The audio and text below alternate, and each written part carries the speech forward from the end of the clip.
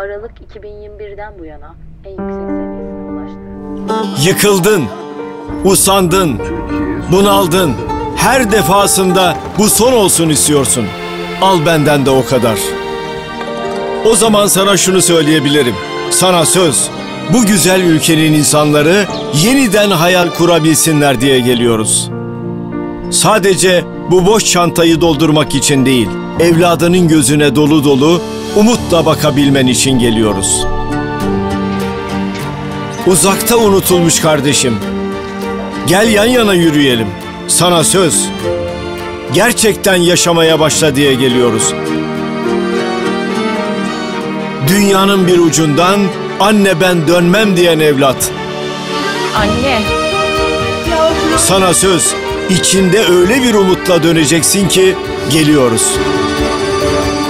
Ben Kemal sana söz veriyorum. Kaybettiğin her yıl, her an, her kuruş, her gülüş sana fazlasıyla geri dönsün istiyoruz.